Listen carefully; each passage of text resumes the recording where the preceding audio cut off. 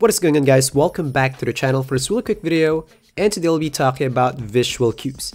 This season, there's a lot of complaints about their jump shots getting patched, that's why they're missing their shots, which I talked about in this video here. And there are some that are blaming the visual cues. They said that 2K changed how visual cue works, which caused them to miss their shots. So that's the main topic in this video here. By the way, after watching, please leave any feedback and please leave any recommendation for a topic. These topics here just came from comment requests, so just let me know, I'll see what I can do. So now let's get right into it.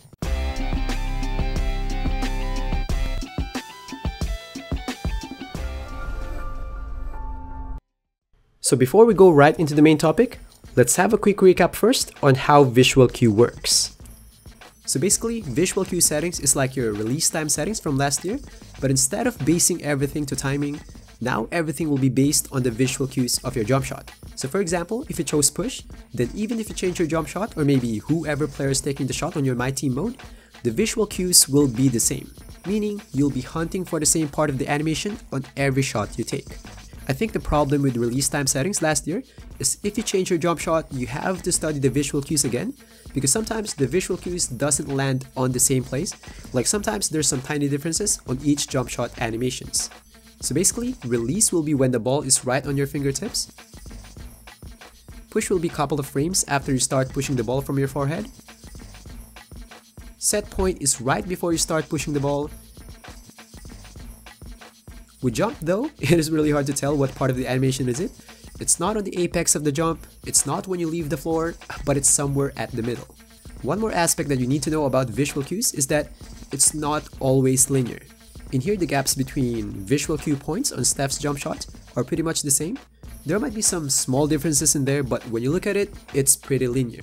With KD though, there's a big gap between jump and set point. At first I thought that maybe there was something wrong, but I tried it a lot of times and I got the same results. And here you can see, that's the gap between jump and set point, right? And here's the gap between set point and push. If I put this on the chart, you can notice that it's not linear not like Curry's. Which makes sense to be honest because you can notice that when KD shoots in real life, it usually takes him a while to bring the ball to his forehead. Probably it's because of the wingspan. So that's why there's a big gap between jump and set point. Now, it might look that it's a bad thing that you know, some jump shots doesn't have linear cues, but if you think about it, it's a good thing because it means that if you chose push, it means that no matter what jump shot you chose, you will be hunting for the same part of the animation. At the end of the day, most likely you'll base everything on the visual cues or animations anyway, because you are taking off your jump shot meter.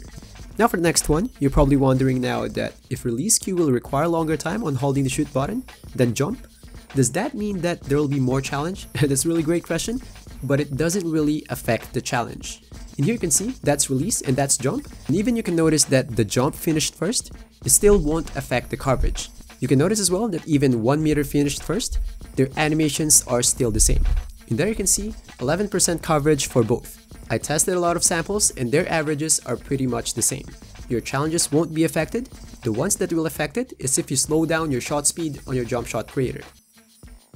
So now the question is, is it still like that after 5 seasons and many patches? Let's find out after these quick messages. So before we go to the next part, just want to invite you guys to like the video if liking so far. And if you're new here, I'm Tutes and I do lots of detailed badge and stat testings.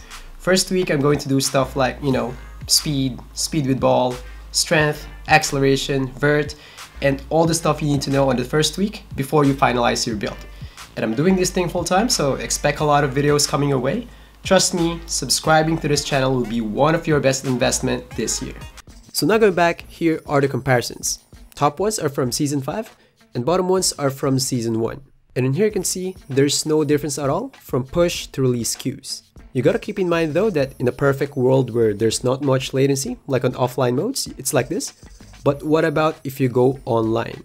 Are the relationships between the visual cues and shot meter remain the same? Like will the visual cue for release will still be with the ball at the fingertips? Let's find out. So there are two major things that are happening here that you must know. First one, of course everything will be adjusted based on your latency. So for example, instead of jump cue to be somewhere right after the jump, it'll be delayed up to this point. And the relationship between the visual cue and shot meter on release will be here instead on the fingertips, which is crazy. Now for the next one, which I think the bigger issue here, everything is not accurate. On both of these clips, I was using push, so sometimes the end of the meter will sync here, and sometimes it'll be here.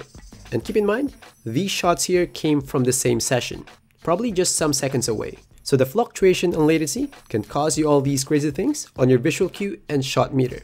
So if ever you're wondering if your visual cue mechanics were changed from season to season, they were not. Maybe your latency was completely changed, causing you to mess up your shots. So it's a latency issue. So let me know in the comment section what you think about this or any other feedback. So that's all for the video. Thanks for watching and I'll see you guys in the next one. Peace.